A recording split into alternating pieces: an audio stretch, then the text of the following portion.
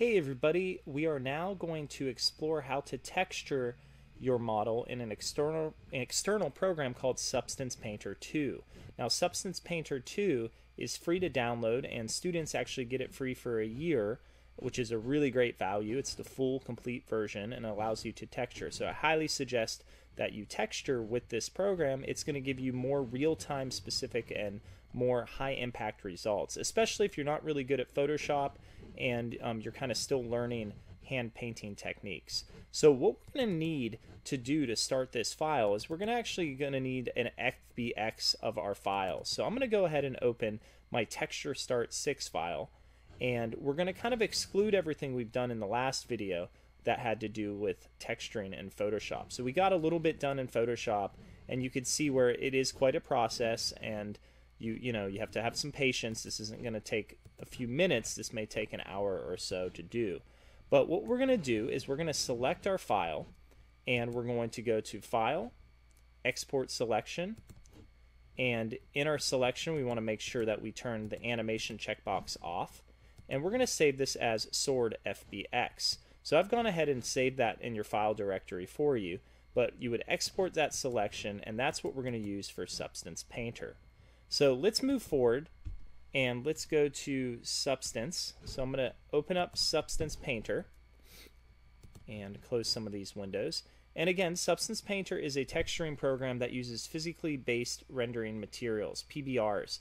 And these physically based materials can be used rather well in game engines. Substance Painter is used all throughout the gaming industry and as well as the animation industry because of its ease of use and its it's really a really quite amazing program that has tons of options and you don't really have to load textures and things like that. So let's go ahead and get started. When you open up Substance, yours may look like mine. It may slightly be different, but where you want to start is by going to File, New, and we're going to go and we're going to select the Unity 5 template, and we're going to go to Mesh, and then Select. There, we're going to navigate to our project, scenes and our sword FBX. And I'm going to double click on that sword. And now at this point, I could add things like uh, other meshes. So if I did want to go and navigate back and maybe add that color map I worked on, I can add to this in Substance. I don't really want to do that. I'm going to do all of our work in Substance right now. So I'm going to go ahead and hit OK and hold the Alt key, and you'll see there's our sword. Pretty nice, right? And it gives us the ability to really do a lot of amazing uh, texture items. Now I could just hop right in and start painting. You can see where I paint on my UV map, it shows up in the actual area. And that's really nice. Um, it allows us to play with field of view. It allows us to play with uh, different environment maps so I can actually change my lighting as I go through, which is a really cool kind of thing. So you can see the lighting kind of drastically changes depending on the map and it does just a really a lot of nice parameters for us. Now, what I want to focus on first is I want to do some of the baking. So I'm going to go ahead quickly and I'm going to bake my textures. Now, when I hit bake textures, I may get a few errors with this, but out of default, we really need the curvature and the ambient occlusion. So we're going to go ahead and we're going to go ahead and take some of these other ones off, like ID and world space normal, and we're going to keep curvature and ambient occlusion. We can go ahead and play with each of the settings, but default usually works best. So I'm going to run through these, and what this is going to do is it's going to bake some of the maps for me, and we'll come back, but you can see they're kind of down here now. And now we have our texture ready to go. So let's get started actually making this look pretty cool. So the first thing I really like to do is I like to kind of play with the form and the lighting of my file. So I'm going to create a new folder and I'm going to call this folder form. And I'm going to go ahead and I have a layer here. I can leave it, I'll turn it off for now. And I'm going to create a new fill layer. And this is just kind of my method. I'm going to drop it in the form folder and I'm on this fill layer. I'm going to make sure that the base color of the fill layer is completely black. So you can change the black values where you see fit. And I want to play with the metalness and the roughness. I basically want to turn them all the way to white. So basically, it almost looks like the surface shader. Because we're going to play with some occlusion here. We're going to actually call this one AO for ambient occlusion. Now, we have this AO ready to go. and I'm rhyming apparently now.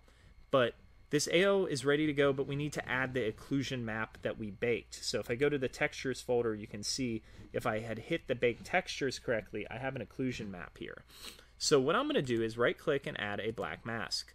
And with that black mask, I want to attach another fill to it. So I want to fill this black mask with the occlusion map. So I'm going to right click and say add fill to that mask. And I'm going to drag my occlusion from my textures folder all the way onto my, it says grayscale, on my color of my mask. And then that allows us to see the mask. Now what we want to do is we want to kind of invert this all. So we're going to go back to the mask, make sure it's highlighted in blue, right click, and we're going to add a generator. Generators are really amazing. They actually generate things like edge wear and tear and all sorts of cool stuff. So we're going to go to add generator and we're going to use one of the mask editing software pieces. So like for instance, the mask editor is a really cool one. So immediately you can see we get some kind of soft finish, but let's go ahead and see what we can get out of this editor. So the first thing I'm going to do is I'm going to invert my setting, and that's just kind of what I do, and I'm going to change it to normal because I don't really want to multiply this just yet. And I'm going to play with some of my settings here. For instance, the contrast. And I'm going to pump up my ambient occlusion. And this is going to get me some really nice shading. Now, in certain areas, it's not going to be the best, so I have to go in and really kind of balance, literally, my areas. But you can see I can start to really push and pull certain areas to play with this. Now, this editor, you can do a lot of different things. You can adjust curvature, which will kind of pull in kind of the edges, and it will start to get us some really nice results. So again, play around with these settings. Each model is different. Um, you want to just kind of make sure that, you know, obviously you're not blowing out the model like that. It can break pretty easily. But you're adjusting the intensity of these elements. And I'm kind of digging that. That's getting there pretty good. We have a pretty nice finish. And we're going to go and continue to build off of this. All right, so now that we have that in there, and again, you if I invert it, it obviously turns really black, so I want to keep it this way. What I'm going to do now is use one of the shaders that custom uh, that Substance Painter comes with. So if I go to Materials, one of my favorite shaders to start with is this baked light baked lighting material, and I'm going to go ahead and drag this into my scene, and maybe we'll put that on top. And the baked lighting material is actually rather nice because what happens with it is it's going to allow us to use some of the um, excess kind of tools that uh, the light baking in Maya would do. So if you see we have like a material tab so we can kind of play with the metalness and roughness so we can kind of go through and adjust these. We have a diffuse. We can actually change the lighting of this so we can actually move the lights around and it's a lot quicker than maybe the Maya method just because you can see it. Now, one of my favorite things to do is to kind of play with the edge intensity and let's see kind of what we get. And actually, I'm going to change this color to white and I'm going to change the sky color to white here. So, and the horizon color, we're going to change these all to white and black. And we're going to play around with the lighting just a little bit. And you can see by doing that, now I kind of get these really cool highlights on my model, which, you know, maybe we want to use. So again, we're going to play with some things like the edge smoothness and, you know, the cavities and all sorts of stuff. Just go really have fun with this and see if you can't get a really stylized effect. So we'll go through and we haven't added our color yet, so don't worry. So we're going to we're going to get to that in a bit. And there we go. So that looks rather nice in our scene. Now, what we can do as well is we can go ahead and add another fill layer if we want. And we baked two textures. We actually baked an occlusion and a cavity map. So we can do a very similar fill. Actually, let me go to mask here. Um, we can do a very similar item with uh, add fill. And we can actually add that cavity mask to this as well. And that will give us a very similar effect. It's just really up to you, the user, how you want to build that. So I'm going to hit delete there. I'm okay with what I have right now. So now that we have kind of our edges defined and we got some highlights going and we can play with the lighting, let's go ahead and add some color. So we'll turn this off for now and let's add a new folder and we'll call this new folder and we'll take it out to make sure it's on top. We'll call this new folder base. So these are going to be kind of the base colors and we're going to play with all these blending modes in a bit.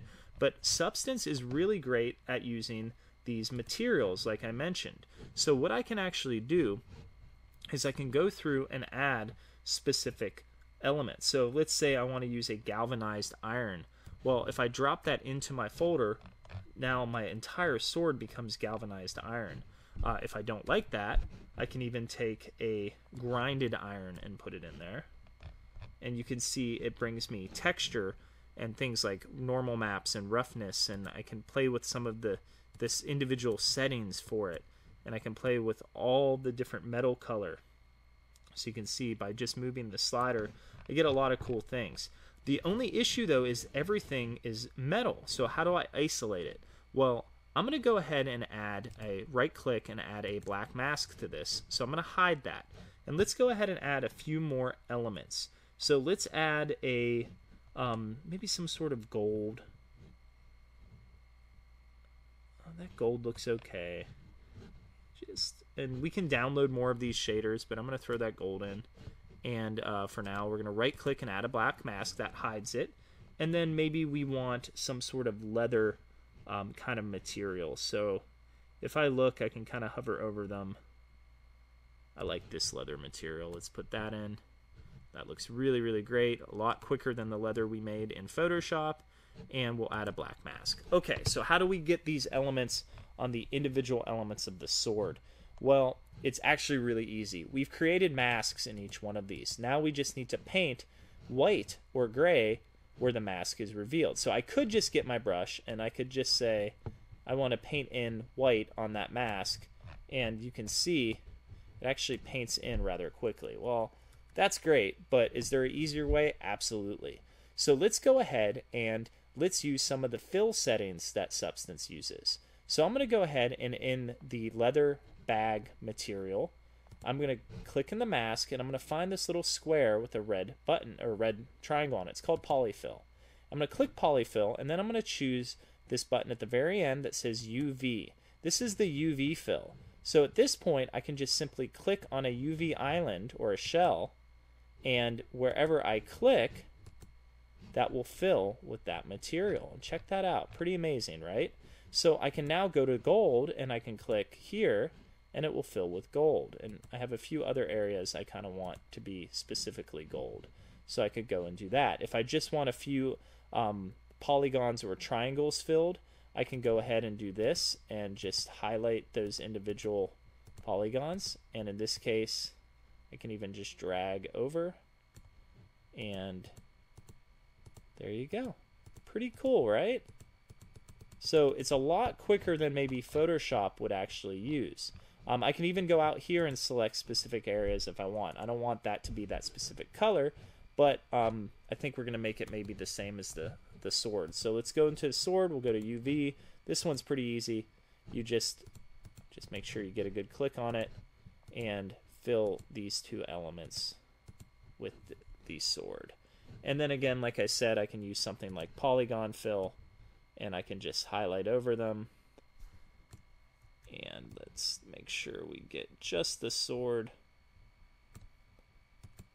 There we go.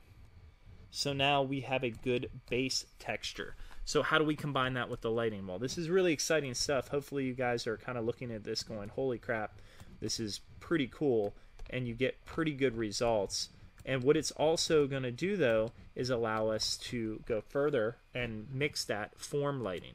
So if I turn the form lighting and move that folder above everything, they don't really blend, right? Well, if I open up my form folder and I set it to all these blending modes, for instance, pass through, still doesn't show, but if I go and set maybe my baked lighting to overlay, all of a sudden, check that out. Look at the really nice shading that really comes together rather quick. Uh, we can also send our AO and we can set that to multiply. and everything will kind of go in. I like to set my mask to screen. Oh, that's a little bright, isn't it? Let's set it to multiply. Yeah, that's a little better. And that kind of got rid of some of the darkness that we had in there. And then that fill looks okay at normal um, because I'm seeing everything. But look at the really nice appearance that we've gotten from the sword already with these settings. So actually rather, rather nice. And, you know, by the ability to do this really gives us some pretty cool results. So again, I built my form and then I build my base color. Now I can add my details. So how do I do that? Let's say there's some sort of cool texture that we want to add to this sword. So if I go ahead and if I hold shift, it will kind of snap to my axis. Um, I can paint right in here. So let's see what kind of brushes I have to work with. I have brushes, I have alpha maps. I can right click or drag in my own texture. Um, that That's really cool. Uh, so that's something we can do. And um, what else do we have? We have like brushes that do specific like functions. We even have things like screws and bolts that if I create simple layers and I grab, like I said, like a bolt, I can go ahead and put a bolt in my scene. Really amazing stuff. But let's go ahead and see what we can add. Um, let's go ahead and add, I don't know, let's add something really cool that's kind of default so you guys can find it. Let's add, I don't know, this X to the, the layer. So what I'm going to do is I'm going to scroll down and I want to add this X only to my normal and to my, um, only actually to my normal and height information. So what that means is, remember that if my brush color here is a specific color, for instance, in this case, you can see it's going to be white, it's going to be puffed out. So if I just click once, now I almost have this puffy X or this plus sign. So I can kind of play with some settings and really kind of look and and play with you know all sorts of kind of subsettings. Um, I could use things like this line here, and I could like kind of make it dig into the piece. So that's kind of nice. Um, at any point, you can change your different brush sizes. So if you want to change the flow and the brush size of them, um, what I like to do is I like to uh, kind of just experiment a little bit more and kind of figure out what the best uh, piece is for me. So let's play around with these layers a little bit more and let's see if we can't get a really cool kind of effect going on here in our style. So we'll get maybe this circle and let's see if we can't just reset some of these settings. So if we were going to paint with color and we painted in here, you can see it's kind of blown out. So what can we use? What can we do? Let's go and look through all the brushes and all the different tools that we have. Actually, that Substance logo is pretty cool. All right. So let's go ahead and make sure this is a paint layer, which is good. And we um, we still have this screw shape, and that's what's kind of causing this to look kind of weird. So um, what I've been doing is I've actually been accidentally adding these shapes to one another. So let me go and get a brush real quick and uh, kind of take away some of these. So I'm going to hit the substance material. There we go. So I just hit the little X and now I can go back to those alphas and get that cool substance shape. I like this S actually. All right, so now, if I take color off and I turn shininess and roughness and keep just height, and I move my height slider to the right, when I paint with this, I get a raised element. Now, if I move this the other way negatively, and I paint with this, typically don't paint and drag, I get a the illusion of another shaped element. So by changing, I can actually paint with height or paint inversely depending on the brush itself. So again, you can really get the illusion, as you can see here, the illusion of texture. So let's go ahead and I'm going to hold that shift key and I'm going to just paint. I'm going to move my brush maybe negatively here and let's see what we get. Pretty cool, right? So now we have that little emblem marked into the bottom of the sword, which is really neat. So that's my, so I can say emblem, emb, there we go. I can continue to add more elements, so let me add some more textures. And maybe we want to add some scrapes and scratches. So we have like things like claw, claw, uh, claw marks. We have different brushes that will give us the illusion of dirt, so you can actually go and add dirt or clumps of dirt. Uh, but we do have a scratch brush, which I really like. So again, I want to adjust my height brush, and I'm just painting in the height, and I'm just going to go through and make a few scratches where I see fit. Pretty nice. I like that. Now, if I want to paint these with color, I can just activate my color, and I'm going to just paint with red for a second, and now it will paint red. In addition, I can also paint the specularity so we can start getting some cool results. And this is a really kind of fun thing to do. So you can continue to add layers. You have fill layers, you have smart materials, which we'll get into a sec in a second, and we actually have um, masks and effects and all sorts of cool things. But you can paint in just if I wanted to just paint my specularity, for instance, and just the shininess, I could go ahead and come in here, and you can see now there's a different level of shininess to this area than there is the other area. So I can kind of adjust those levels, and when I paint, again, they're all kind of different levels of lighting, which is really, really neat to do. Um, but it's a lot quicker, isn't it? So again, um, I can isolate what elements I paint. Maybe we'll go back to those alphas. Maybe we'll get maybe we'll get these. I'll use my bracket keys to make this small and we can add a little detail to our map here. Something that would be rather kind of hard to do if we weren't using Substance, but uh, in Substance it actually makes it look rather easy. Um, we could go in and add on top of materials. So again, if I want to take this material here. And I want to play kind of with this brush rotation, I can just rotate it. And make sure that it's set to maybe 90 degrees. There we go. Can scale up. And I can do this.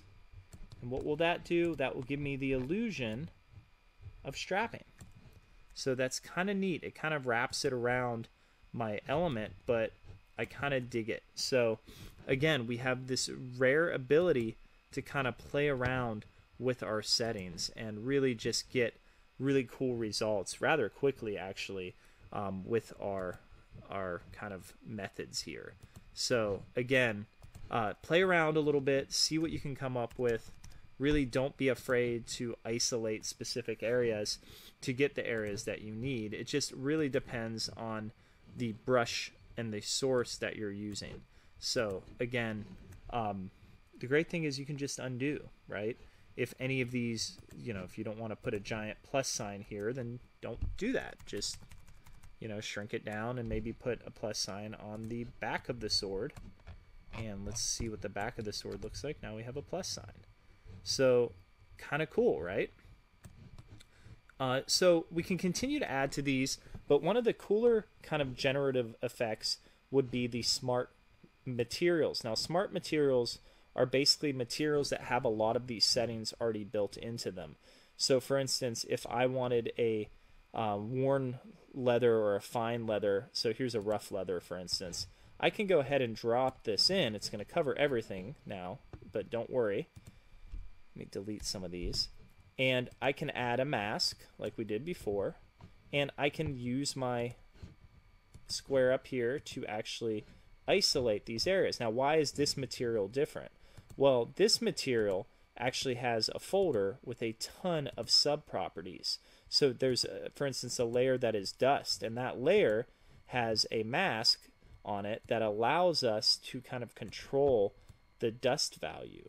And so we can kind of go in here and adjust specific parameters depending on, you know, that filter. And sometimes they show up, sometimes they don't. Again, it is trial and error. Um, we have dirt.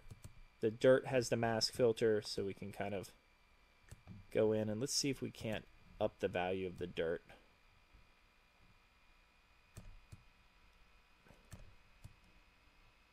And let's do. And again, some of them are, are kind of tricky. You just got to keep going through and find them. You can even hit random seeds. We have edge wear, so we can add specific amounts of grunge. And up there you go. Now you can start seeing the grunge. Occasionally it takes a little bit of time to kind of find uh, your your groove here but it's a really cool filter. So if you don't want that, like let's go ahead and hit delete. We can explore other options. So let's say maybe the blade. What if we want to, let's create a new folder. Um, actually, we don't even need to create a folder. We can just, well, we'll create it. We'll call this blade. And in the blade folder, let's find that, let's kind of rebuild this material using the materials and we'll use an, a rough iron Great. And let's go up to the top of the blade. Let's add a mask, black mask, and let's then select just the blade materials. That looks good. And now what we can actually do is we can kind of start combining materials. So let's say I want to put some rust on this. So I put some rust on this, but I don't want the rust to cover the entire sword. So that looks kind of weird.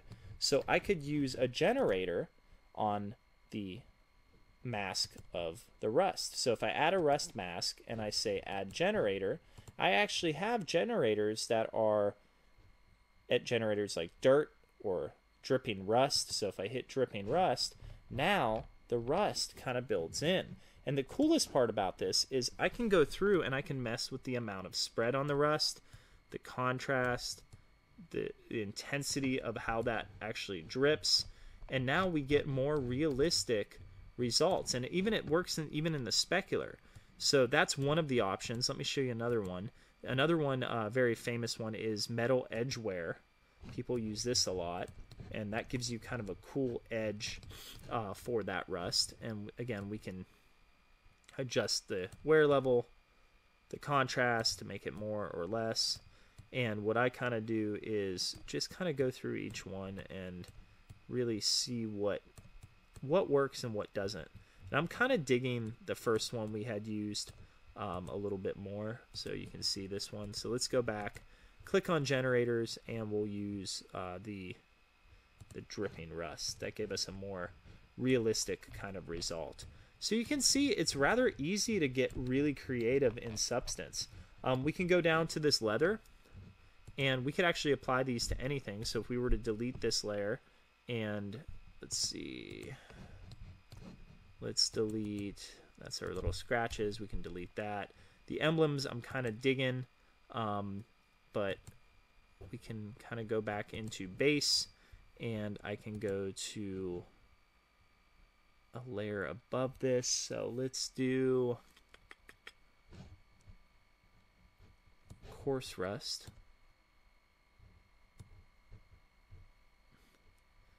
Actually what I want is like a dirt kind of feel to it. So let's add, let's go to this leather bag and let's add a generator and let's generate dirt. And we will invert this and now we have kind of a dirty you can see it's layering dirt on top of that shader. So kind of neat. So what I could even do is I could go and add maybe a nice uh, different leather underneath it. And we'll go ahead and make sure that's in the same realm. And let's add a black mask. Let's isolate that just to this. And now we can see it's coming through. Isn't that really amazing? Uh, substance painter does a lot of really amazing things um, and it allows the artist really just to expand their creativity and just have an absolute blast with creating these kind of really cool effects. So overall, um, go ahead and play around with Substance Painter. Um, play around with all the different kind of settings and and the uh, and the creativity that you can kind of output. But when you're done, you can even take this back to Photoshop. So if I right click and I say export textures or control shift E, I can go ahead and I usually take my padding off and I can export all of these textures. So I can export them Unity 5. If you are using um, your Sketchfab, you can actually take them straight to Sketchfab and put them on your account. But if I hit export here, give them a few seconds, open folder, what it's now done is given me these different materials. And we have the smoothness, we have, again, kind of some normal maps. You can see that leathery look, and we have even the emblem down here, and all of them are really ready to go. We have that color map that you can kind of see that all the different levels and the shading. This would have taken me a lot longer in Photoshop. Substance has simply sped up this process. So again, really go and have fun with Substance. Really build it out the way I did. You have this video that should give you a good idea of the form um, and then the base. And then just really have fun with the brushes and effects and really see what you can add. Remember, you can also add your own emblems and logos by simply dragging in imagery into Substance. It's really easy to use, really user friendly, and uh, hopefully, I uh, you guys will use Substance on your projects. Look forward to seeing the results.